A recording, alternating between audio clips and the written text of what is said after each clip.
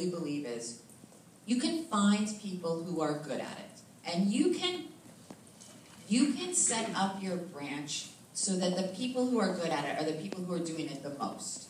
You know, a simple like sorority rush handoff to, you know, like if somebody comes up to, to do something that has sales potential, you, you send them to a desk, you know, a, a sales platform.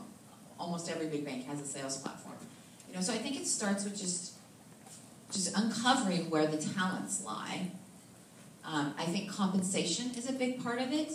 Credit unions are, are very reluctant to pay for performance, which I think um, once you start paying for performance or, or sales results, you will you will be able to recruit better salespeople. You'll be able to retain better salespeople. And I mean, it's the, it's one of the quickest ways I've seen to instill a sales culture.